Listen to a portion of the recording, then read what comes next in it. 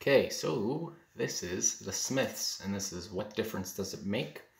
And this was a request, and uh, I want to hear more of The Smiths, so I decided to do this one. Um, like I said, I've never heard The Smiths music before, but I know of like Johnny Marr and uh, Morrissey, and I know that they influenced quite a bit of bands, including one of my favorite bands, Oasis. So yeah, I want to hear some of their music, and uh, yeah, we're gonna do that.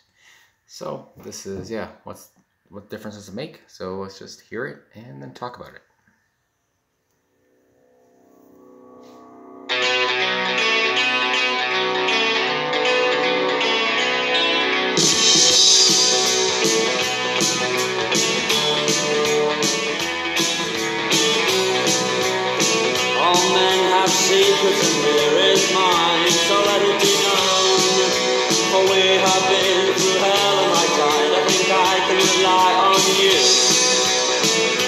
Yet you start to recoil, heavy words are so lightly thrown.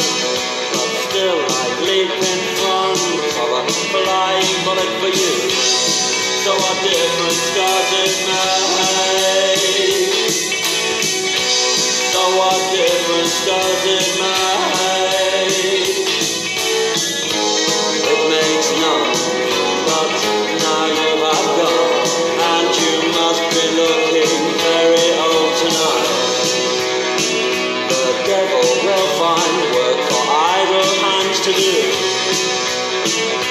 Stole and I lied and why? Because you asked me to.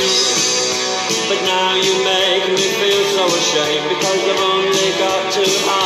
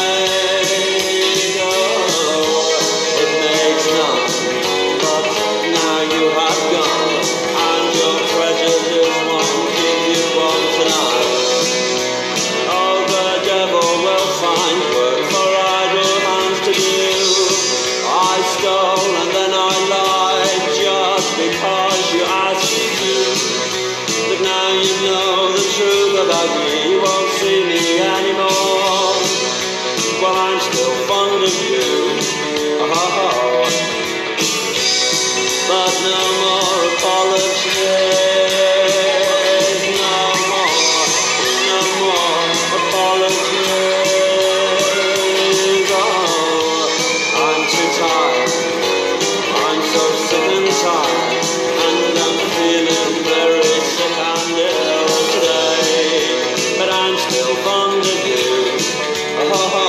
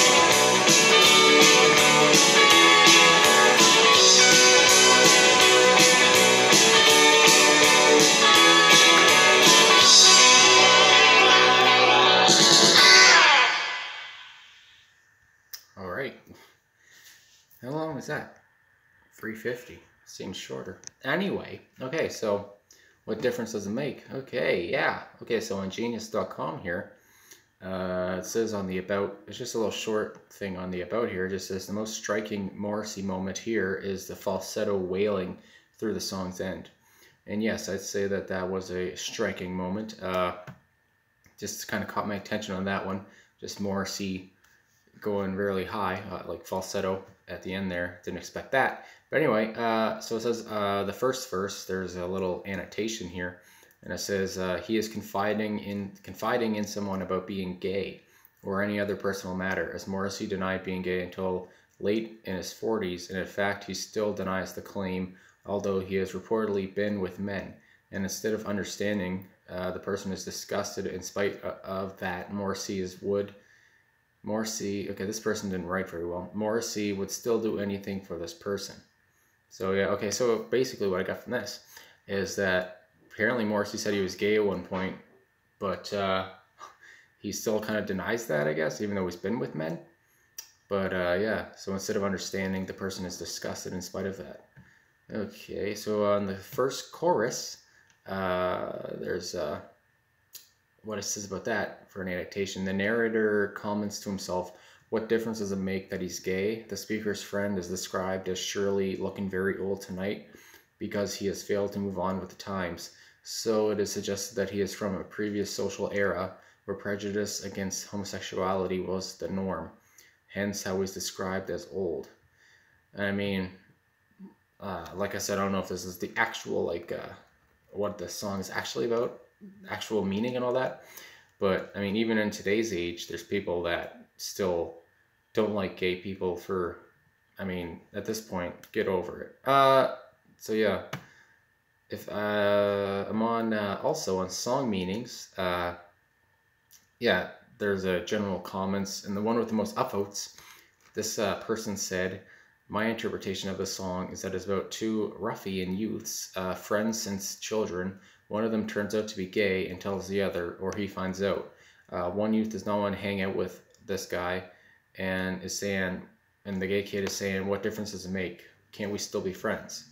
So he says, consider the lyrics. All men have secrets, yet you start to recoil now you know the truth about me. You won't see me anymore. Uh, your prejudice won't keep you warm tonight. The best part is you must be looking very old tonight, meaning old ways. So yeah, this guy says like the same as the other guy, or as the other annotation said that uh, you're looking very old tonight because it's like he is in the old ways of uh, society. But yeah, I mean, this song a lot of good meaning here.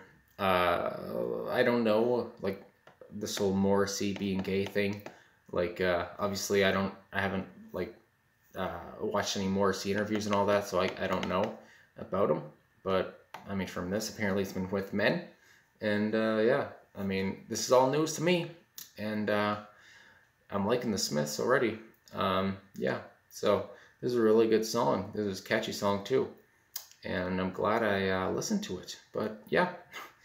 uh, like I said, I gotta say it again, very good meaning, and uh, the whole like just homosexuality and like being it like how it's still taboo in like some countries and like some parts like uh, states even it's just it's very weird i don't know but yeah i mean i guess uh, the united states they legalized gay marriage and everything so it's like better i guess but still a lot of prejudice in a lot of places about it and it's just crazy. But anyway, yeah, this is a good song and a good meaning, and I'm glad I reacted to it. Reacted to it. So yeah, okay. Uh, thanks for watching. Like the screen says, and uh, if you have any suggestions, and you leave it down below, I'll get to it at some point because a lot of people like I don't want to sound like a, a cynic or whatever. I don't know, but there has been a lot of suggestions, so like I might get to it at some point and down the road. So yeah, all right. This is a long outro. I'll see you later and yeah